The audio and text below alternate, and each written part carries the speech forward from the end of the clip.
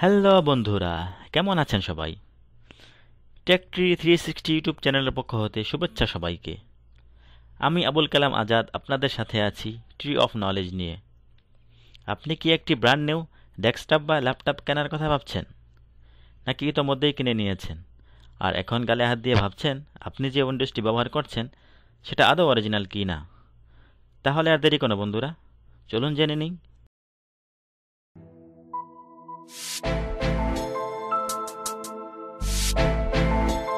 বন্ধুরা, আপনার Windows original আছে কিনা জেনুইন আছে কিনা সেটা জানার জন্য আপনাকে যে কাজটা ফার্স্ট করতে হবে ফার্স্ট মেথড যেটা, সেটা হচ্ছে আপনাকে স্টার্ট মেনুতে যেতে হবে। আমি এখন স্টার্ট মেনু ক্লিক করে দেখাই দিচ্ছি আপনাদেরকে।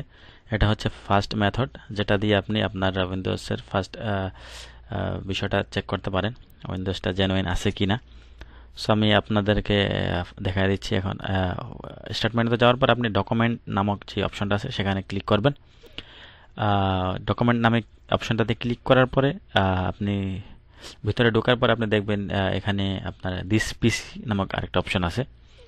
দিস পিসি অপশনটাতে আপনার মাউসটা মাউসের কার্সারটা রেখে রাইট বাটনটা ক্লিক করবেন মাউসের রাইট বাটনটা ক্লিক করার সাথে সাথে রাইট বাটনটা ক্লিক করার সাথে সাথে আপনাকে যে লেখাটা আসবে সবার নিচে যে লেখাটা আসবে, সেটা হচ্ছে প্রপার্টিস প্রপার্টিসে ক্লিক করলাম আমি।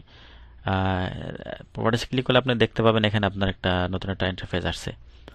উইন্ডোজ টেন বিষয়ক ডিটেলস একটা ইন্টারফেস আসছে। এখানে আপনার সবার নিচে যে জিনিসটা আছে সেটা হচ্ছে আপনার অ্যাক্টিভেশন কি আপনার নিচে লেখা আছে Windows is activated with Microsoft blah ওটা চেক করে নেবেন।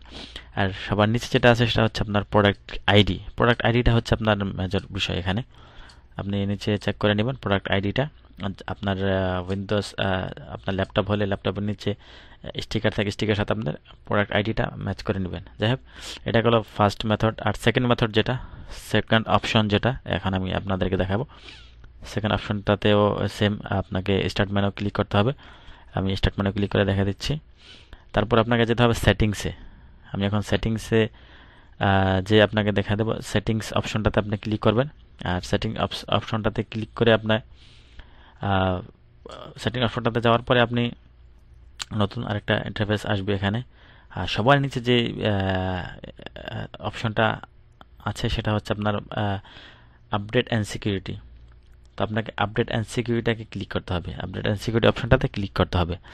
আপডেট অ্যান্ড সিকিউরিটি অপশনটাতে ক্লিক করার পরে আপনি অ্যাক্টিভেশন নামক আরেকটা অপশন পাবেন ভিতরে। তো আমি এখন অ্যাক্টিভেশন নামক অপশনটাতে ক্লিক করব। অ্যাক্টিভেশন নামক অপশনটাতে ক্লিক করার পর আপনি এখানেও আপনার উইন্ডোজটা অ্যাক্টিভেট কিনা, আপনার এখানে অ্যাক্টিভেট আছে কিনা সেটা আপনাকে দেখাবে।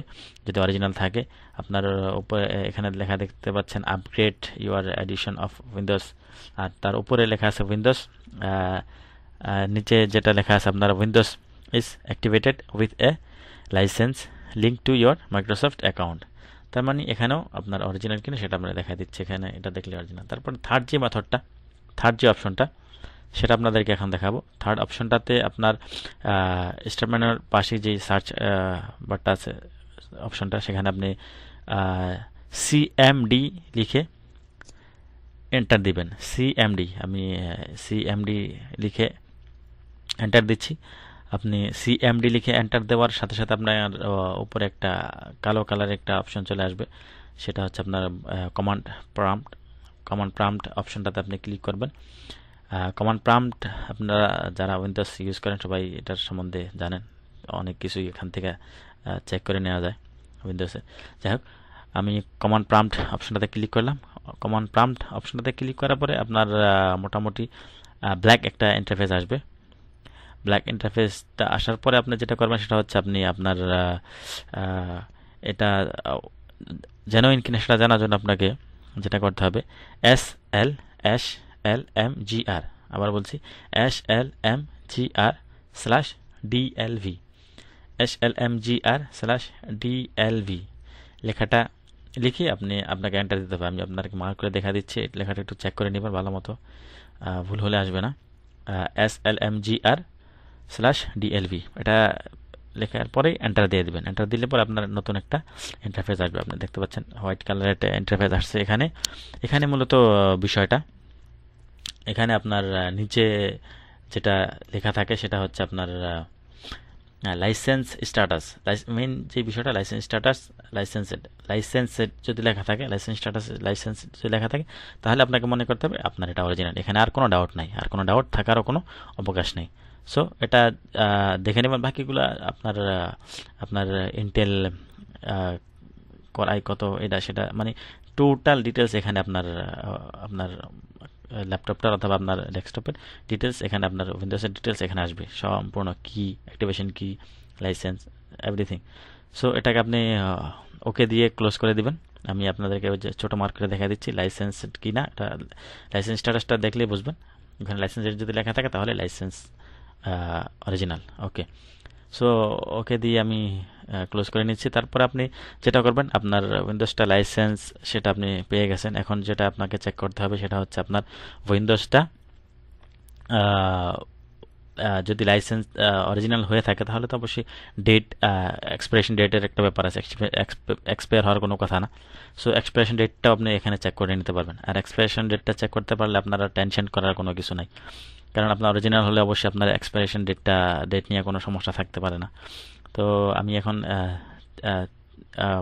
সেম লেখা আপনাকে ওখানে লিখতে হবে S L M G R X P R S L M G R slash X P R আমি লেখার পর আপনি দেখছেন এখানে নতুন একটা ইন্টারফেস আসছে। এখানে লেখা আছে this machine is permanently activate so এর মানে হচ্ছে আপনি আপনার মেশিনটা আপনার যে উদ্দেশ্যটা অরিজিনাল এরপরে আর কোনো টেনশন থাকার কথা না। সো এরপরে আপনার আর কোনো টেনশন করার কোনো কিছু নাই? এরপরে যেটা করতে হবে সেটা হচ্ছে আপনি যদি আপনার আমার ভিডিওটা ভালো লাগে অবশ্যই বন্ধুদের সাথে শেয়ার করবেন, আপনার রিলেটিভদের সাথে শেয়ার করবেন। তারপরে কমেন্ট যদি কোনো কিছু